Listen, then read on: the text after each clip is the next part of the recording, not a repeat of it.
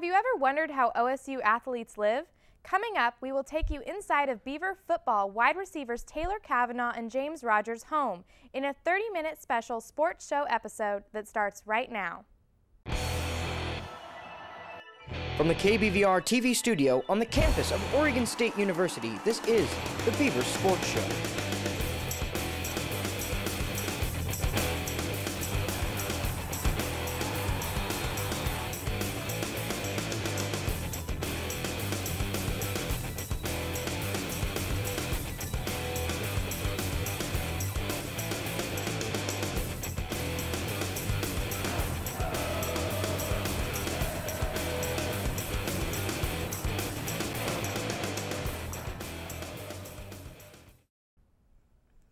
Good evening, I'm Ashley Kennedy. And I'm Allie Strauss. Welcome to an exciting episode of the Beaver Sports Show.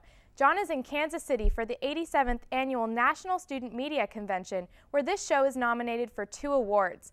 The winners will be announced tomorrow at 3.30, and John will post the results on his blog. Tune in at johnhendricks.wordpress.com following this announcement. Allie and I have put together a Cribs episode that takes you through football players Taylor Kavanaugh and James Rodgers' home. They will show you how they kick it in their crib.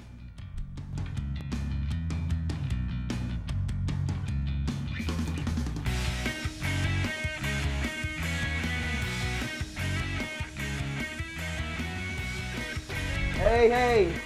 Welcome to Big Red. This is our house, Corvallis, Oregon. Um, James Rodgers, you might know him. I'm Taylor Kavanaugh, and uh, we're glad to have you guys. Welcome to the crib. Come on. Come on in. This is the entryway. A little bit about the house. My family and I bought it um, just after my freshman year in 2007, and it's 1920, so it was built a ways back. Well, right here, this is our roommate Matt. Matt, you can Matt Wilcox. Welcome to the house. We're uh, big fans of the Wall Street Journal every morning. It's been a little stressful these past uh, this past month or so with the uh, stock market the way it's going, but uh, moving along. So you know, it's kind of an issue in most college houses, uh, the issue of food. You know, who has what, what belongs to who. So in our house, we take you know we take pride in uh, being trustworthy with everybody's food. So we gave everybody kind of their own cabinets. Um, down here, you know, we got communal cabinet, you know, rice cooker, uh, hot chocolate, you know, that kind of stuff. Just basic kitchen uh, essentials. And then, you know, we got the cabinets once again, uh, just, you know, for everybody to kind of, you know, have their own area to keep their food, you know. Different people like different kinds of foods, you know. I mean, I like, personally, I like Cheerios. Matt likes uh, Captain Crunch, you know, whatnot. We keep them separate. So, uh, yeah, you know, got the various essentials, some cooking supplies, your daily vitamins, of course, everything like that. Um, you know, Scoot's little cabinet, you know, coming in here. We try to keep it so everybody stays in their own cabinet, you know, and so you have kind of your own thing to eat. And you know, if you get caught, uh, get caught stealing from somebody else, and uh, it's bad news. There's some there's some consequences to go along with it. So, but yeah, that's pretty much it. James, what do you got? Uh, probably nothing. I pretty much do all my eating at Valley just like he said, so Yeah, I probably I- have a few drinks in my room, but that's about it. I swear, this man, like, you look at him and you're like, what? You eat like 8,000 calories a day? like, this man's rocked out. I swear, this man's like Superman. He didn't eat like one time during the summer. I, I come down here, we'd be working out like four hours a day, and he'd have like a PB and J like one time. He's This is just, how it is. he's just a machine, something. So, uh, yeah, we got this is our little R2D2. That's what we call it, R2D2. You know, it's like a, it's actually a little move around dishwasher machine. So everybody, everybody who comes in, they ask like, the, the hell is that? Like, well, I, I don't know what it is. But uh, you know, we just wheel it around here. You know, load up the dishes. Has a little tail in the back. You plug it into the sink, and you're good to go. It's better than washing dishes by hand. So, so um, I'm gonna introduce you to our sixth roommate. His name's Hopper. You can see him chilling up there. He's a little guy. He's a good friend. Um, had him for about two weeks or so. Uh, Scott and Matt found him outside of Owen Hall. Owen Hall, um, you know, he's been a good friend. He just kind of chills here in the kitchen. eats some corn, some celery, does his thing, keeps us company. So he's kind of a fun little guy. The outside of the fridge were, was where all your uh, most prized possessions went. So of course uh, we've got some season's greetings, Christmas cards from uh, you know Love and Peace, the Wilcoxes, the Kavanaughs, the Hollowell kids. That's uh, Scoot's family. Of course we've got a uh, shout out to our boy uh, Colin Foster on the soccer team doing his thing on the backside of the barometer just last week. Um, little Jacquizz Rodgers rushing for 186 against USC. That made the fridge. You know what else do we have on here? Not much, but uh, oh, this is kind of interesting. Yeah. This is real interesting. This uh, this is kind of this is a sacred document. Everybody in the house uses. Uh, tell them about that one. This is This is kind of like I want to call this the it's a man's guide to what women always say when things don't go their way. I mean, I don't know if he wants to read them or not. I mean, basically, it's just, you know, if you can see, it's just pretty much an encyclopedia about how to deal with, you know, the ladies. Um, you know, we got what words mean, you know, like fine. Uh, this pretty much, you know, definition this is the word women use to end an argument when they're right and you just need to shut up. so, uh, you know, it goes on like thanks. A woman is thanking you. Don't question or faint. Just say you're welcome. So, you know, it's it's kind of a guidebook to you know, dealing with the women that are in our lives, which are, you know, very important to us. So we need to understand them, pretty much. We've shown you the main floor of Big Red, and when we return, James Rodgers will show us his pad, plus his brother's addition, the Jacquizz Annex, here on KBVR.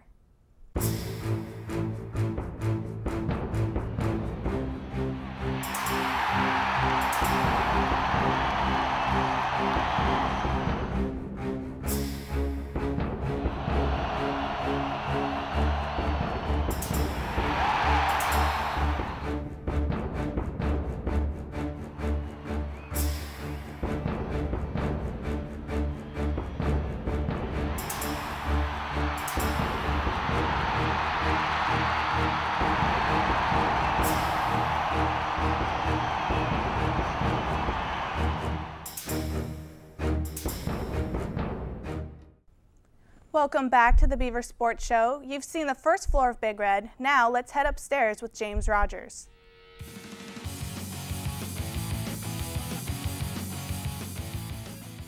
So coming up the stairs, the first door on your left here is uh, my roommate Spencer Bradley. Uh, we call him Spence for short. This is his room in here, so we'll come in and check it out. Why uh, why Matt's in here, I don't know, but you know, Oh, you know, oh, what's up, guys? What's going on? rooms are kind of communal, you know. We're close like this, so we share spaces.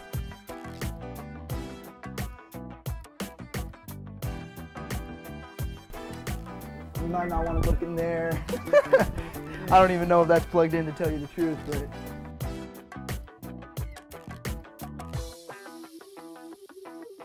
He just wore this, uh, you know, hey, when did he wear this?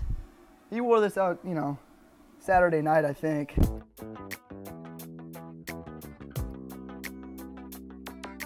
Neighbors with uh, Spencer is uh, our good friend Scott Hollowell. You know, he's an East Side boy from Portland, Cleveland High School. Shout out.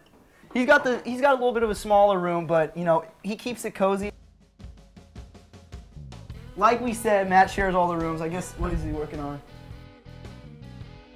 Looks like he's helping him, giving him a few uh, ideas on how to solve that uh, thermodynamics problem. He's a Braves fan.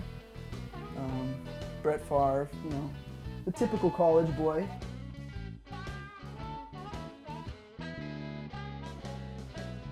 They come out with this sign, you know, yelling at Erin Andrews, hey Erin, we love you. Put us on TV, right? So Erin, you know, acknowledges them, you know, breaks their heart, you know, she's such an amazing reporter. They got the wave from Erin Andrews, if you can believe it or not.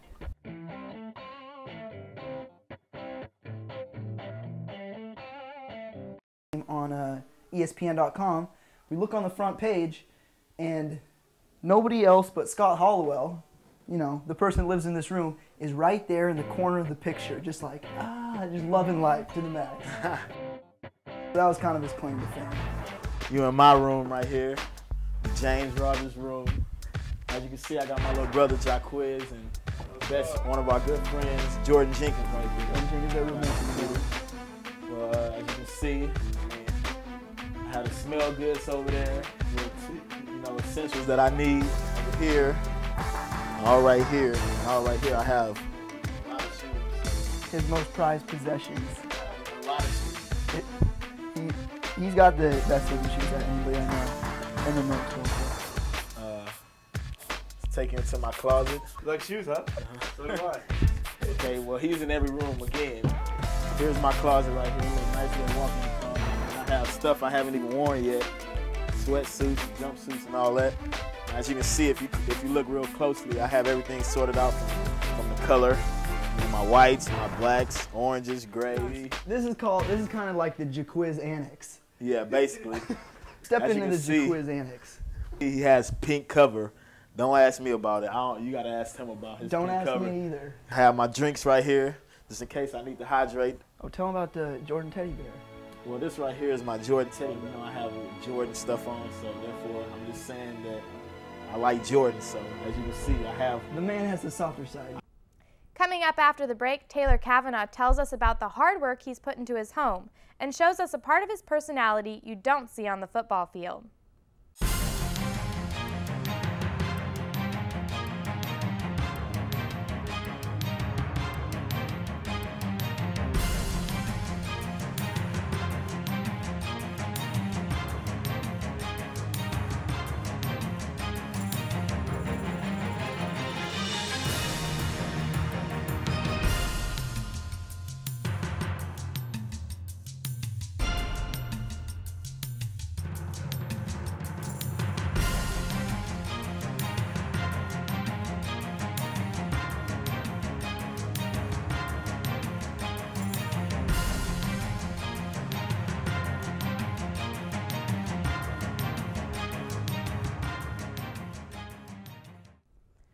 Welcome back to the Beaver Sports Show.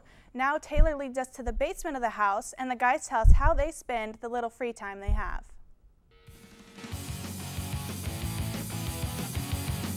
So coming back off the entry, um, it's real convenient, this little space right here.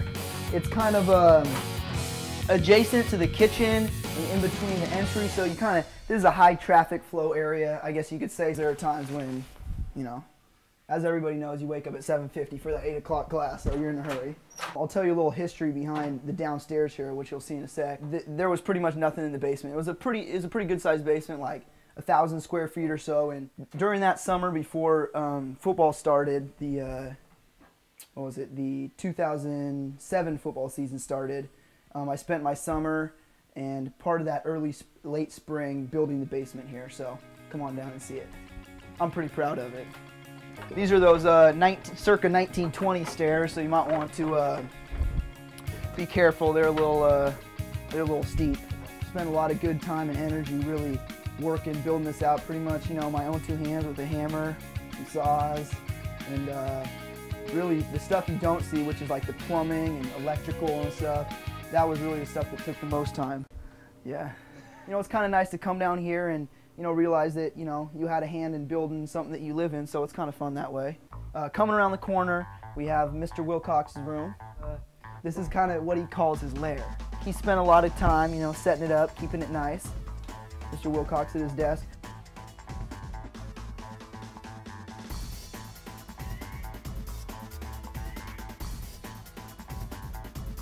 Uh, Matt really wanted this desk in his room as he spends a lot of time doing homework because he's such a phenomenal student.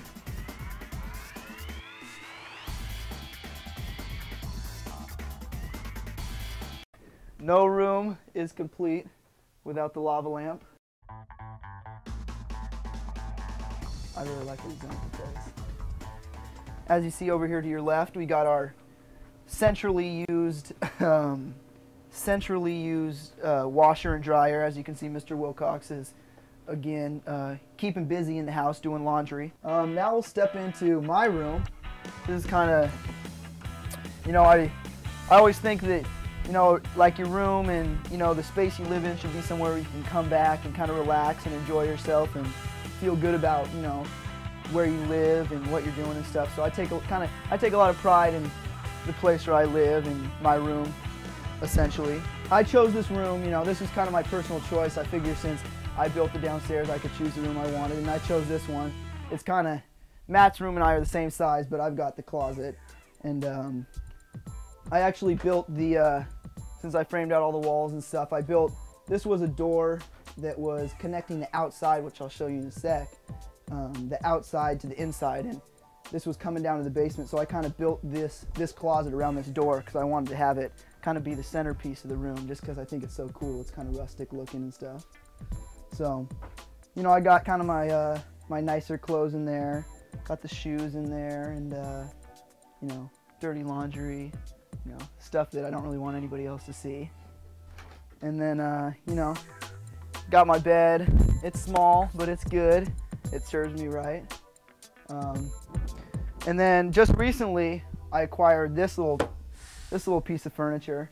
It was a, it was quite a task getting into the room. I bought it at OS used, so you know we kind of like to, uh, we kind of like to relax. You know, I like to sit down after practice and, uh, you know, finish my homework and then kind of relax and just kind of wind down for the day.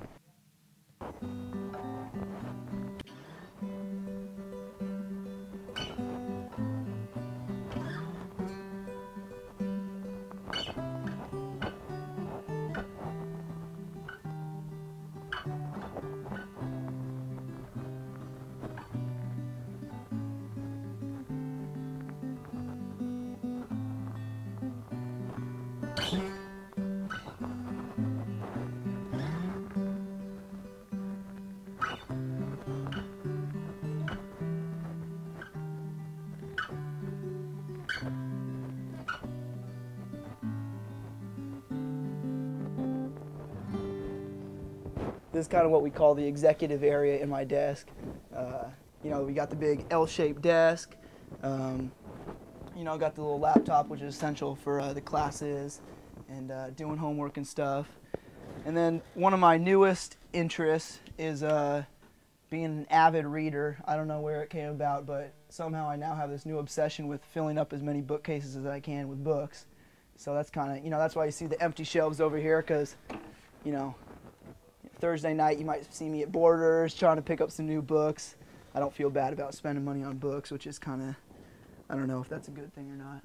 But uh, yeah, just kind of uh, like to sit back and feel like you're, if you have a good environment to work in, you know, Matt and I believe this, you have a good environment to work in, you're going to produce quality homework and do well in your classes and just be a better overall person. So um, a lot of guys in the house like Jack Johnson, you know, the guy from the North Shore, kind of a one of the chill artists of our time, I'd say. Uh, puts together some great music, so you know we kind of take the time. Matt plays the drums, we get together and jam. Occasionally we'll go down to the music store, mess around with their drums, and I'll play a little guitar. So you know from time to time I've you know picked up a few songs I like Jack Johnson personally. So um, just one of his songs, you may know it better together.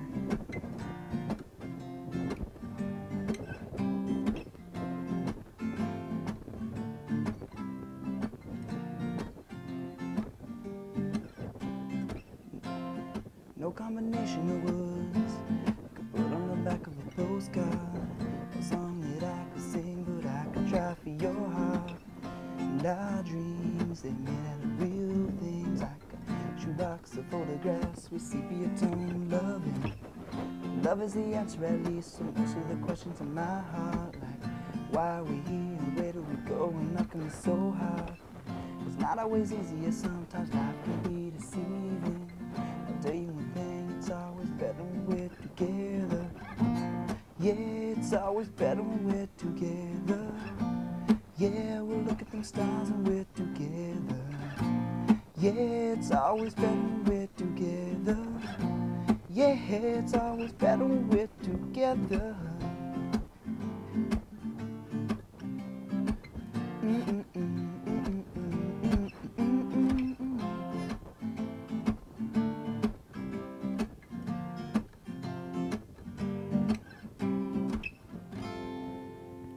just a little piece we like to play. So moving down in uh, into the living room area. This is kind of where uh, you know we got the big screen down here, and uh, you know the dartboard and just some activities. We'll just sit down here on a you know a warm summer night or just chill down here and watch some Monday night football. It's a cool little place to hang out. The nice thing about the basement down here is that it can be 90 degrees outside and since this basement is completely in concrete, it'll stay like 60 degrees down here just like we have AC. So, you know, it's kind of like a poor man's AC down living in down the basement, so I take advantage of it. How you doing? How you doing? So this is uh this is kind of the back patio area where we uh you know, as you can see play basketball and uh the driveway area. We got the motorcycle uh and Matt's Jeep over there. That over there, the Dakota Sport. And uh Lexus, you know, we do a big, the Toyota, that's my car. Uh, we have some lights out here, so you know, Friday night, Saturday night after the game, just kind of come out here and play basketball, hang out. Uh, it's good times. Uh, after a long workout, you know, have a barbecue. We got the barbecue in the back over there, along with the bike. So we'll just come out here with the barbecue, make some chicken, some potato salad. See good. It's good, and uh, just play basketball. Just hang out with the guys.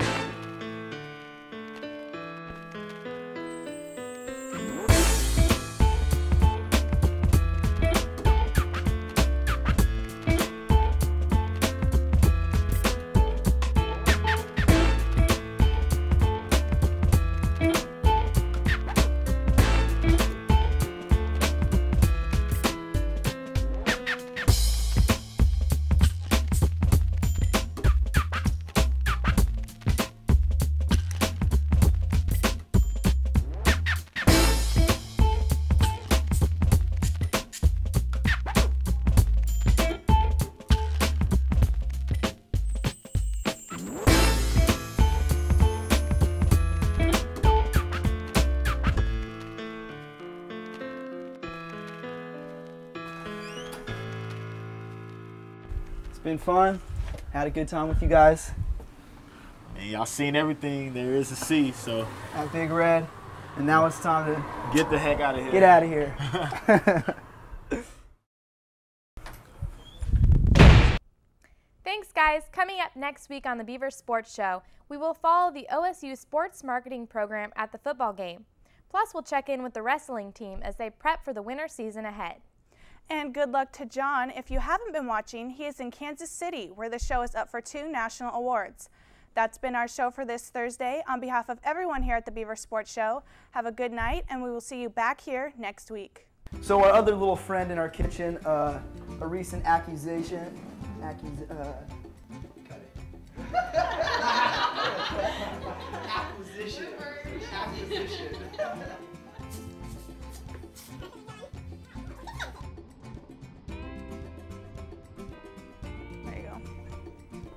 My hair's on my face. Does that work? Doc. Does that work? Thanks, guys.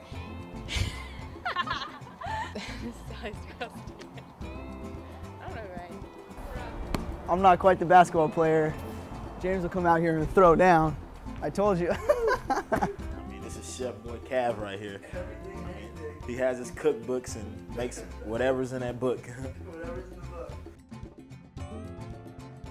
I've taken the time to learn a few Jack Johnson songs. I know you said it's alright.